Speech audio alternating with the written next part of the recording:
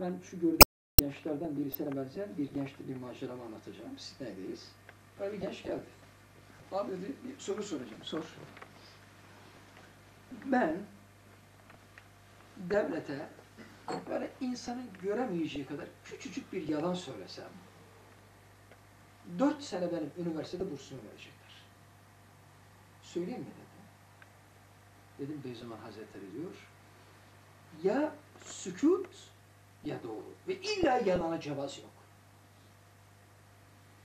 Biraz önce naklettim. İnnemel hilet fi terkil hiyel. Üstelik bir yalan için dünya tenezzül etmeyiz.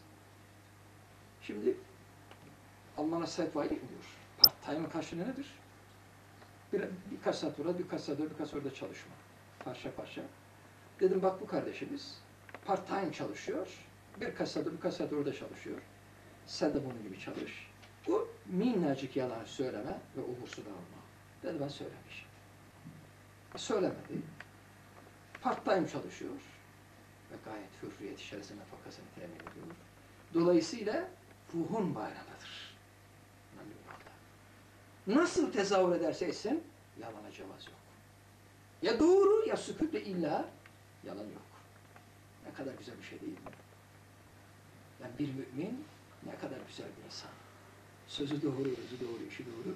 Herhangi bir menfaat mukabilinde eğilmiyor. Eğildiği zaman o vasıf İslami değil. Mesela bir mümin yalan söylüyor. O yalan vasıf İslam'dan değildir. Zaruret var. Hayır. Şimdi zaruret yok. Sükut et ve illa yalana izin yok. Enteresan bir tespit. Üstad diyor, sahabeler zerre miktarı yalanı görse red ve teksif ederler. Halbuki bahsedeceğimiz vakaları çok da rivayet etmiş, ötekileri sukut ile tasdik etmişler. Demek her bir hadise manen mütevatir gibi kat'idir. Arkadaşlar mütevatir şu. Burada bir dede var. Oğlu var ve torunu var. Şimdi dede yaşında bulunan 300-500 bin 10 bin kişi diyor ki biz Resul-i Ekrem aynen böyle gördük hep beraber o dedeler oğluna naklediyor. Şimdi dede sahabe, oğul tabi'in. Peygamberimizi görmemişler. Şimdi o dedelerden yani sahabelerden o tabiler dinliyor. Dedelerin oğlu.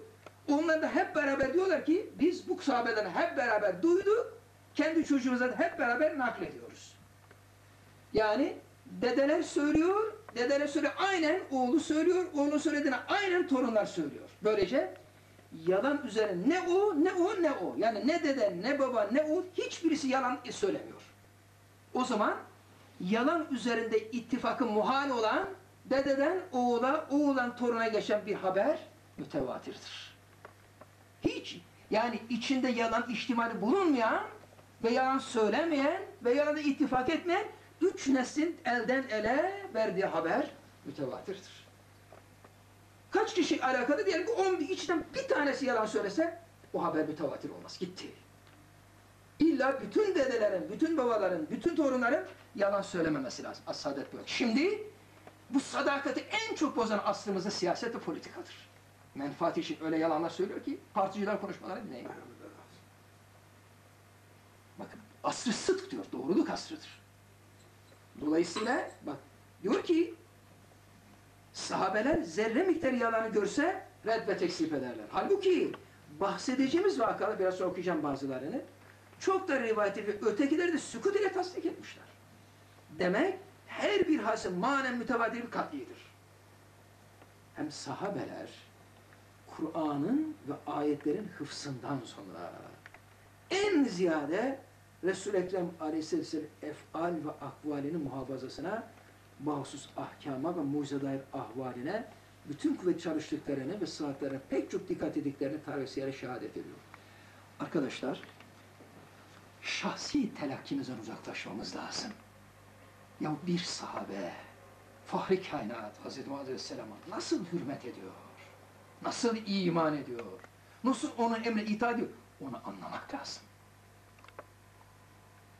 Şimdi mesela buradan güneşe baktık. Top kadardır. Hüseyin, doğru değil. Bu, bu cümle doğru. Yani bir top alıp futbol topu diye ki güneş top kadar. Bu söz doğru. Ama git güneşin yanına, arada 149 milyon kilometre var. Yanına gidip göreceksin ki top kadar dediğim güneş şu dünyamızın 1 milyon 400 bin defa daha büyük. Bakınız Güneşe 149 milyon kilometre uzaktan bakınca diyorsun ki güneş top kadardır. Yanına gidiyorsun, dünyanın büyüklüğünü düşünebiliyorsan getir, 1 milyon 400 bin tane dünya yan yana olduğu güneş kadar. Onun için buradan asıl saadete bakmak, buradan güneşe bakmak gibidir. Yani git asıl saadete. O sahabe nasıl peygambere iman ediyor? Nasıl onun adetini muhafaza ediyor? Nasıl onun sözünü muhafaza ediyor? Acayip. Örnek yok ki filan filan gibidir diyesin. Mesela biz şu kitabın müellifine bakıyoruz. Bütün kütübü sitte hafızasında. Buhari burada, Müslim burada, Sünen Ebu Davud burada, İbn-i Mace burada, Taberani burada. Ne kadar hadis ezberlemiş. Şimdi bunu ölçen ve git asıl saadete. Ve orada sahabenin Cenab-ı Peygamber'e olan hürmetini, imanı, itaatini gözüne getir. Sonra ona göre muhakem. Onun için burada diyor ki her bir hadise mütevatir edin. Hem sahabeler bakın Kur'an'ın ve ayetlerin hıfsından sonra Kur'an'ı ayetleri ezberlemiş. Ondan sonra en ziyade Resul-i Ekrem asibesi efal ve akvalinin muhafazası. Fiillerinin, işlerinin, sözleri muhafazası. Bahusus ahkamı ve mucize dair ahvaline bütün kuvvete çalıştıklarını ve sıhhatlara pek çok dikkat ettikleri tarifesiye şehadet ediyor. Resul-i Ekrem Aleyhisselatü Vesselam en küçük bir hareketi bir senedi bir hal ihmal etmemişler. İsmini hatırlamaya çalıştım. Maalesef aklıma gelmedi. Keşke gelse iyi olacaktı. Konu şu. Hadis ilmiyle meşgul olan bir kimse muhaddis deniyor. Gitmiş Buhara'ya. Ona demişler ki ezberinizdeki hadislerden bazılarını yazdırabilir misiniz? Yazdırabilirim. Tutmuş ravileriyle beraber 75 bin hadis yazdırmış. Bir, bin, bir tane bin tane değil, 75 bin yazdırmış. Ayrılıyor. Ayrılınca Buhara'da bu adam hakkında endişeler meydana geldi. Söyledi de söyle diyor. Asıl esas yok dediler. Bunun üzerine ilme mensup olan bir heyet meydana geldi. Kervan ihdas ettiler. Düştü o adam peşine ve onu Bağdat'ta yakaladılar. Dediler ki mesele bundan ibaret. Şimdi Buhara'da yazdırdığın hadisleri burada yazdırabilir misin? Yazdırabilirim. Yazın. Çıkardılar kağıda kalemi yazdırdı. Bir karşılaştırdılar. 75 bin hadiste bir kelimede yanlış söylemiş. Ya, şey söylemiş. Hatalı, hatalı. Birisi de demiş, düşündü, öteki de tefekkür etti. Mana doğru. Ha. Ve hadis ilminde bu da yanlış değil. Hadisi bil mana doğrudur. Bak bir kere 75 bin hadisi nakleden ravilerle beraber yazılıyor. Bir kelimede. Yani öyle ezberlemişler, öyle muhafaza etmişler. Yani yani şimdi hadislere, kitaplar, lisanı baktığımız yani sanki asıl saadete yaşamışız gibi iman etmemiz lazım. Yani Fahri Kâret gözümüzde görseydik nasıl iman edecektik? Şu kitabın işte hakikaten o kadar saati öyle iman etmemiz lazım. Ve Resul-i Ekrem Aleyhisselatü Vesselam'a ait ashab-ı kiram, sahabeler en küçük bir hareketi, bir sireti ihmal etmemişler. En küçük bir hali ihmal etmemişler. Ve etmediklerini ve kaydettiklerini kütübe hadise şehadet ediyor. Bir vaka İbni Ömer radıyallahu anh'a Hazreti Ömer'in mahdumu ona gidiyorlar. Cenab-ı Peygamber de ne yaptı? Diyor orada böyle çömeldi, böyle böyle misvak açtı. O sabah gidiyor çömeldi, böyle böyle misvak açıyor. Burada ne yaptı? Diyor elleri böyle yaptı, böyle bir dakika bu dağları tefekkür etti. Sahabe gidiyor eller böyle yapıyor, bir dakika daha tefekkür ediyor. Ta Cenab-ı Peygamber'in efaline efali benzesin diye.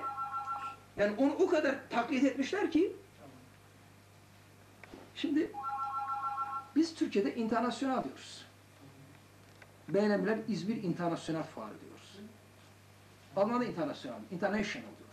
Şimdi ben Almanca öğrenirken o, o adamın kulağım o adamın telaffuzunda. Durchfahren diyor. Bir daha, bir daha, bir daha, bir daha, bir daha. İngiltere'de kurstayım.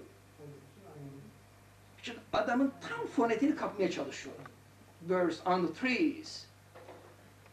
Yani şimdi insan, bak çocuk mesela tam anacığını taklit ediyor. Simav'dayım. Beş yaşındaki kız çocuğuna sordum dedim, baban nerede? Babam, evet. Babam çarşıya gitti, et mi alacak gelecek. Aynen annesi gibi konuşuyor. bak, yani Üstad diyor, mümkünse fıtraten benzemek. Yani sahabe öyle iman etmiş, yani Cenab-ı Peygamber'i sanki hıfzetmiş, Onun gibi oturuyor, onun gibi yemek yiyor, onun gibi konuşuyor, onun gibi şefkat yapmak istiyor. O tamamen örnek.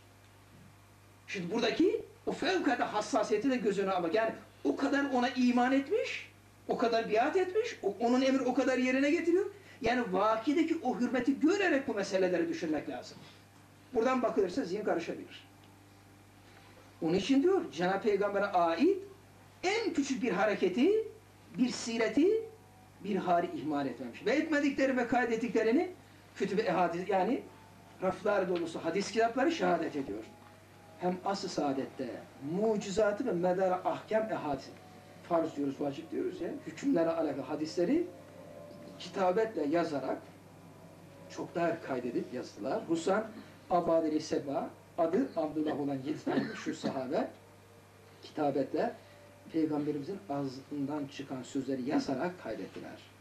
Hususan tercüme Kur'an'ı Abla İbni Abbas, Abla İbni Öm, Amr İbni As, Bağusuz 30-40 sene sonra tabiinin, tabiin sahabeleri gören fakat peygamberimizi göremeyen Müslümanlar. Bak Bayram abi görüyoruz. Ama üstadı görmemişiz. Bunun gibi yani. Şimdi sahabeyi görmüş, peygamberi gören o tabiindir. Ve 30-40 sene sonra tabiinin binler muhakkikleri ehadisi, peygamberimizin sözlerini ve mucizatı yazıyla kaydettiler. Yazdılar kaybolmasın. Daha sonra daha ondan sonra başta dört imam-ı müştehit, İmam-ı Azam, İmam Şafii, İmam Malik, Ahmed İbni Hanbel ve binler muhakkik muhaddisler. İbn-i Maceler, Tabaraniler, Süne Ebu Davudlar vesaireler vesaireler naklettiler.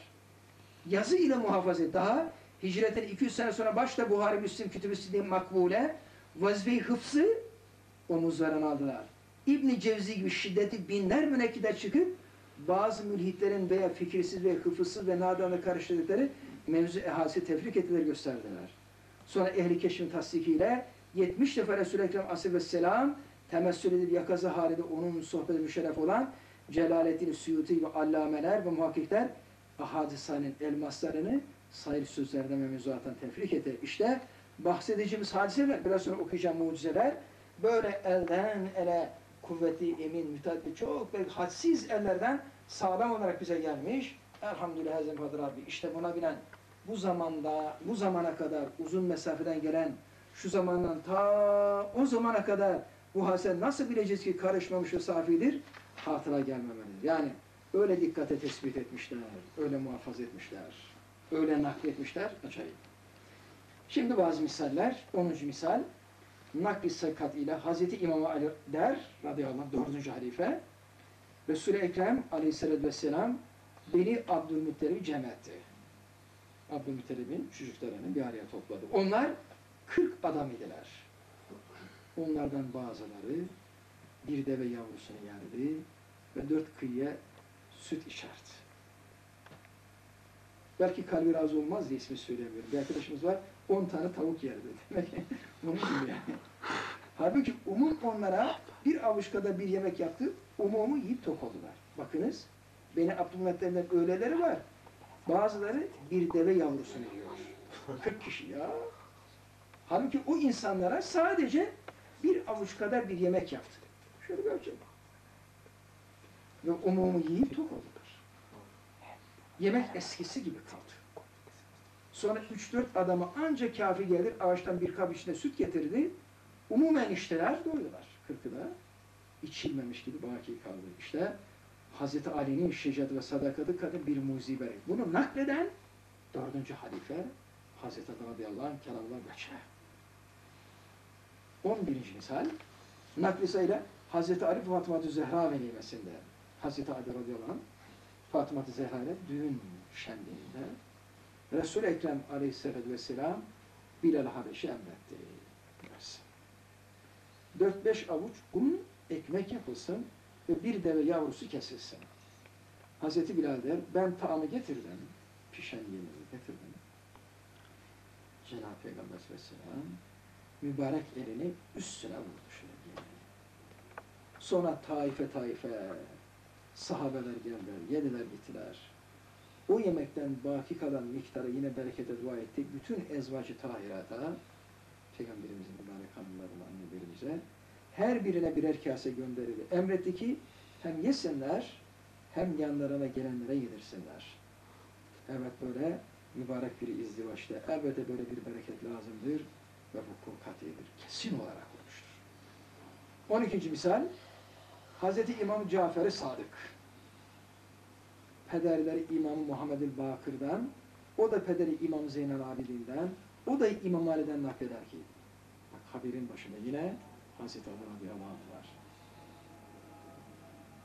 Fatıma-tü Zehra yalnız ikisine kafi gelecek bir yemek pişirdi. İki kişilik. Sonra İmam Ali'ye gönderdi. Ta Resul Ekrem aleyhisselatü vesselam gelsin beraber yesinler. Hem Hazreti Ali radıyallahu anh beyi hem de babası Peygamberimiz için iki kişilik yemek yapmış. Cenab-ı Peygamber teşrif etti, eve geldi. Ve emretti ki o yemekten her bir ezvacına, hanımlarına birer kase gönderdi, gönderdi. Sonra kendine hem Ali'ye, Hazreti Ali'ye hem Fatıma ve evlatlarına birer kase ayrıldıktan sonra Hazreti Fatıma tenceremizi kaldırıp daha dolu olup taşıyordu. Meşret ilahi Allah dileyince hayli zaman o yemekten yedik. Acaba niçin bu nurani, yüksek sesli rivayetten gelen şu mucize bereket gözüne görmüş inanmıyorsun. Evet buna karşı şeytan dahi bahane bulamaz. Bir ayet-i de var. En-nebiyyü evlâ bil mu'mine min enfusihim ve ezvacuhu ümmehâtuhum.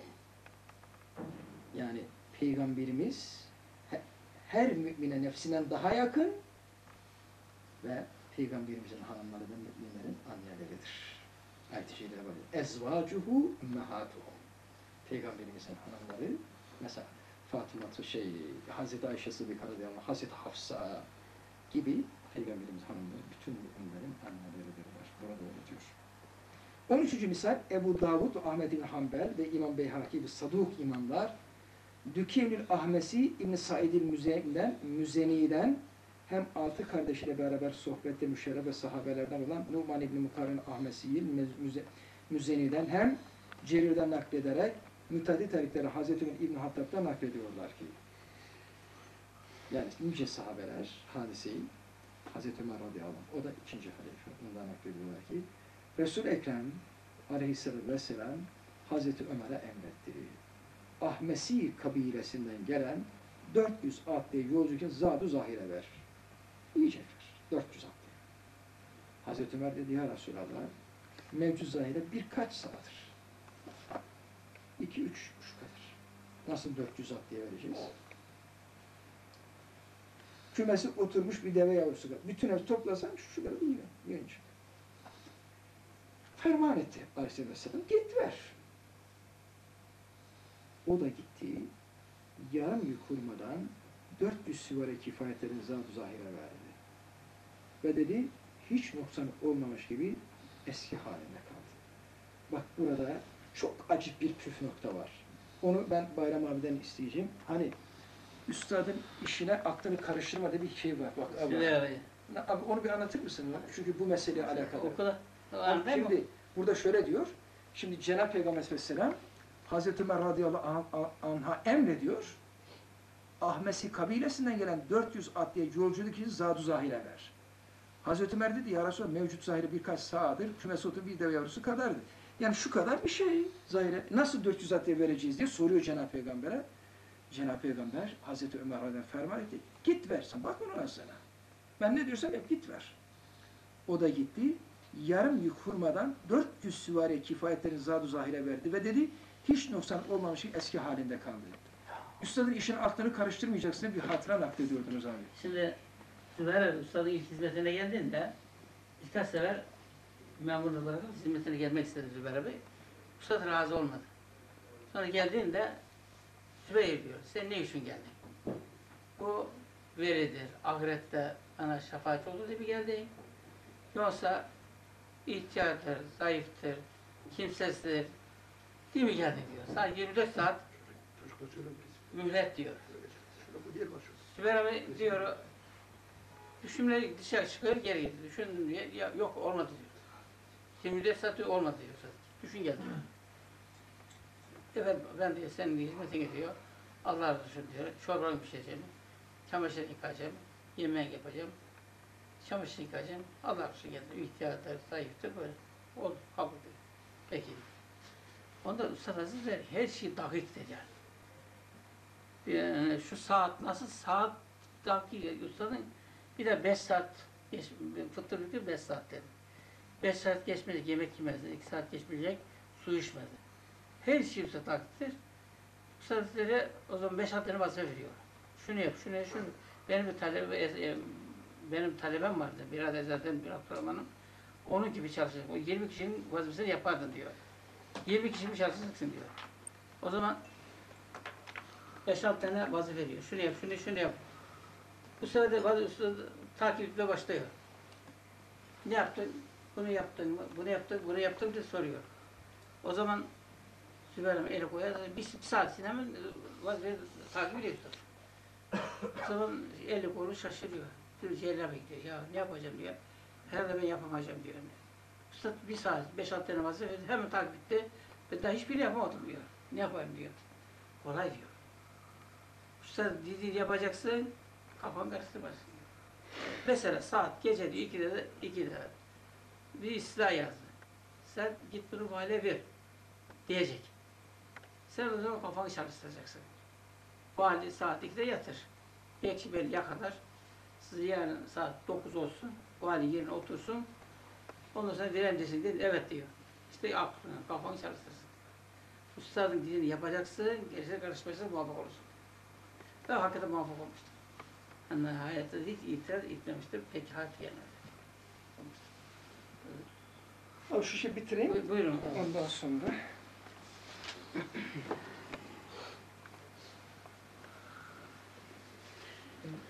16. misal ve son misal. Başta Buhari, Kütüb-i Sayın Haklikat ile beyan ediyorlar ki Hazreti Ebu Hureyre radıyallahu anh aç olmuş. Resul-i Ekrem aleyhisselatü vesselam arkasından gidip menzili saadete gitmişler. Bakarlar ki bir kadeh süt, bir bardak süt oraya hediye getirilmiş. Resul-i Ekrem aleyhisselatü vesselam emretti ki Hazreti Ebu Hureyre radıyallahu anh sufi çağır. Hacca gidenler Mescid-i Nebevi'de, Medine-i Münevvere'de, Mescid-i Nebevi'de o suffe ehlinin yerini biliyorlar. Orada ikamet eden bazı sahabeler. Ben kalbimden dedim ki e, bu sütün bütününü ben içebilirim. Ben daha ziyade muhtacım. Fakat emri nebevi için onları topladım, getirdim. Yüzümü tecavüz eder. Sayıları sahabelerin yüzden fazlaydı. Ferman et. Hazreti Peygamber Ebu Hureyre ferman etti. Onlara içir. Ben de o kadehteki sütü birer birer verdim. Her birisi doyuncaya kadar içer diğerine veririm. Böyle birer birer içirerek hepsi bir bardak süt. Böyle birer birer içirerek bütün ehli suffe yüzden fazla o safi sütten içtiler. Bir bardak süt. Süt bitmiyor. Sonra ferman etti ki Ebu, Bakiye ene ve ente feşla Peygamberimiz. Yani bir sen bir ben kaldım. İç bakalım. Ben içtim. İçtikçe iç ferman eder. Ta ben dedim seni hak ile irsal eden Zat-ı Zülcelal'e kasem ederim. Yeri kalmadı ki, ki içeyim. Hani diyor diyor bu süt sadece bana yeter. E şimdi iç bakalım. Yeterse iç. Sonra kendi sağlığı Bismillah deyip hamd ederek bakiyesine yüz bin afiyet olsun. İşte şu safi haris süt gibi latif şüphesiz mucizatı bereketinde bahiri bereket 500 bin hadisi hıfzına alan Hazreti Buhari başta olarak Kütüb-i Sitte-i sayılan nakilleri gözle görmek kadar katı olmakla beraber. Medrese-i Kusi Ahmediye Aleyhisselatü Vesselam'la Suffe'nin namdar sadık hafız bir şekilde Ebu Hureyre'nin umum ehli sufiyi manen işaret ederek, manen şahit göstererek adeta umunu temsil edip şu işbari tevatür derecede kat'i telakki etmeyenin ya kalbi bozuk veya aklı yok. Bak, Buhari 500 bin hadis ezberlemiş. Nakleden o Ashab-ı Suffa'nın içerisinde demirbaş bir sabırı Hazreti Ebu Hureyre'dir. Şahitler yüzden fazla sadece vazifesi Cenab-ı Peygamber'den İslam'ı öğrenmek olan o demirbaş sahabelerdir. Yani vak'a ne kadar emin ellerden geliyor. Şimdi haber bu kadar doğru olunca, şimdi bu kadar doğru haberi kabul etmeyen adamın ya kalbi bozuk ya aklı yok. Acaba Hazreti Ebu Hureyre gibi sadık bütün hayatı hadise ve dine vakfeden وَمَنْ كَذَبَ عَلَيْهِ müteammiden فَلْيَتَبَوَّ مَقْعَهُ مِنَ النَّارِ hadisini işiten. Yani bilerek bana yalan isnat eden adam hazırlasın cehennemden yerine. Hadisini işiten ve nakleden. Hiç mümkün müdür ki hıfsındaki ehadisi nebeviyenin kıymetini ve sıhhatini şüpheye düşürüp ehl-i sufenin teksibini hedef edecek mal bir söz ve asıl vaka söylesin haşa. Yani ashab-ı kiram vazifelerini en güzel yaptılar. Onun için bir zaman Hazretleri yer yer ashab-ı kiramı tahlil ederken ehl sünnet ve cemaat dediğimiz dinimizin büyük imamlarının ittifakını da bir delil olarak gösterir. Dinimizin büyük imamları diyorlar. En makbul insanlar başta fahri kainat olmak üzere Adem Aleyhisselam'a kadar bütün peygamberlerdir. Bütün peygamberlerden sonra da en makbul insanlar peygamberimizin sahabeleridir. Onun için Beyzuman Hazretleri diyor, bir sahabeye ulaşmak için hakikaten sahabe olmak lazım. Ve külli fazilette sahabe ulaşmak mümkün değil. Bu bereketi taama ait olan mucizelerden sonra mevzu devam ederken bunun sonra Beyzuman Hazretleri'nin bir duası okuyarak bahsi tamamlıyorum. Ya Rab şu Resul-i Ekrem Aleyhisselatü Vesselam bereketi hürmetine bize ihsan ettin maddi ve manevi rızkımıza bereket ihsan et. Amin. Subhaneke la ilme lena illa ma allamtena inneke entel alimul hakim. Ve ahiru davana elhamdülillahi rabbil alamin. Fatiha temas.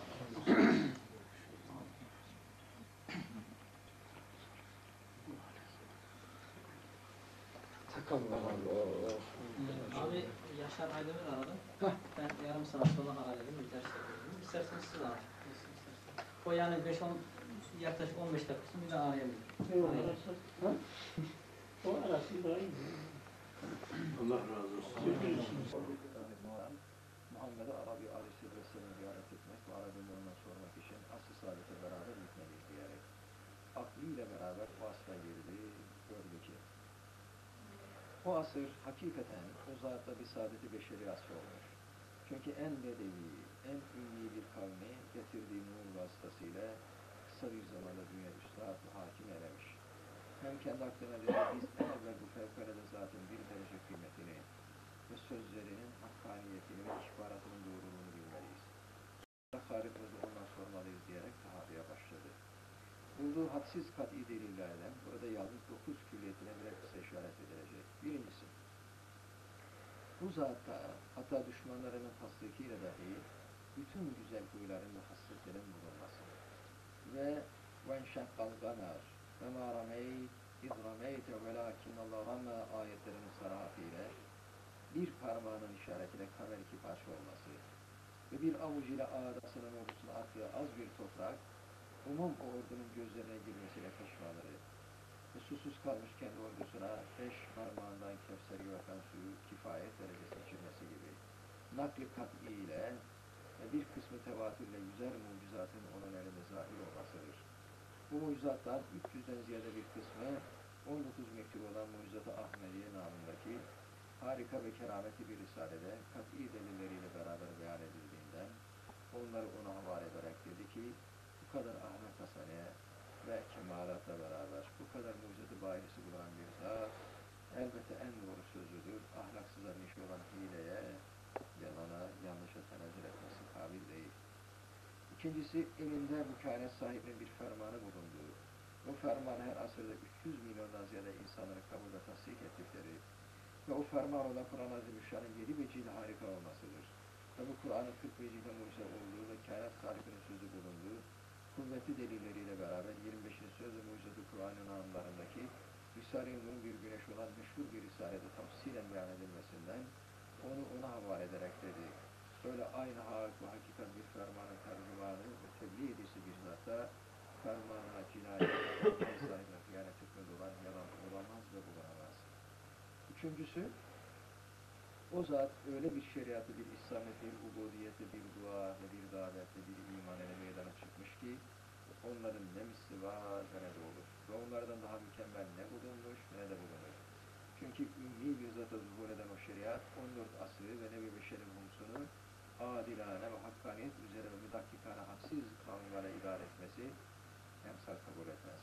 Hem ümmi bir zatın efal ve akval ve ahvaleden çıkan İslamiyet her asırda 300 milyon insanın rehberi ve merciği, vakıflarının muallimi ve mürşidi ve kalplerinin münevviri ve musaffisi ve nefislerin mürebbisi müzekkis ve ruhlarının kadar inkişafatı ve madeni terakkat olması cihetiyle misli olamaz ve olamamış. Hem dininde bulunan bütün ibadatın bütün envanda en iyileri olması, herkesten ziyade takvada bulunması ve Allah'tan korkması ve fevkalade daimi mücadele dağlar içinde tam tamına ubudiyetin en ince esrarına kadar murat etmesi ve hiç kimseyi taklit etmeyerek ve tam manasıyla ve müftediyane fakat en mükemmel olarak hem iktida ve intihayı birleştirerek yapması elbette misli görülmez ve görülmemiş. Hem dinler dua ve münacatlarından Cevşen-i Kebir ile öyle bir marifet-i Rabbaniye ile öyle bir derecede Rabbini tavsif ediyor ki o zamandan beri gelen ehli marifet, ehli velayet terakki efkar ile beraber ne o mertebi marifete ve ne de o dereceyi tavsiye yetişememeleri gösteriyor ki duada dahi onun misli yoktur. Risale-i Münacat'ın başında Cevşen-i Kebir'in 99 fıkrasından bir fıkrasının kısacık bir mealinin beyan edildiği yere bakan adam Cevşen'in daimisi yoktur. Hem tebliğ risalette ve nası hakka davette o derece metanet ve sebat ve cesaret göstermiş ki büyük devletler ve büyük dinler hatta kavim ve kabilesi amcası ona şiddete adavet ettikleri halde zerre miktar bir eseri tereddüt, bir telaş, bir korkaklık göstermemesi ve tek başına bütün dünya meydan okuması ve başa da çıkarması İslamiyet'i dünyanın başına geçirmesi ispat eder ki tebliğ ve davete daimisi olmamış ve olamaz. Hem imanda öyle fevkalade bir kuvvet, ve harika bir yakin, ve mucize bir intişar ve cihana ışıklandıran bir ulvi itikat taşımış ki o zamanın hükümran olan bütün efkar ve akideleri, mükemmel hikmete ve ruhani reislerin ilimleri, onun muarızı mahmur mümkün oldukları halde, onun ne yakinine, ne itikadına, ne imanına, ne itimadına hiçbir şüphe, hiçbir tereddüt, hiçbir zaaf, hiçbir vesvese vermemesi ve maneviyatta ve meratibi iman edip terakki eden başta sahabeler bütün ehli velayet onun her vakit mertebe-i iman ve feyz almaları ve onu en yüksek derecede bulmaları bilveda gösterir ki imanı da emsalsizdir. İşte böyle emsalsiz bir şeriat ve misilsiz bir İslamiyet ve harika bir ubudiyet ve fevkalade bir dua ve cihan fesendane bir davet ve mucizane bir iman sahibinde elbette hiçbir hicrete yalan olamaz aldatmaz yanları baktı dahi tasdik etti. Subhaneke la ilme lana illa ma allamtana inneke entel alimul hakim ve ahir davana elhamdülillahi rabbil alamin. Fatiha. Elhamdülillah.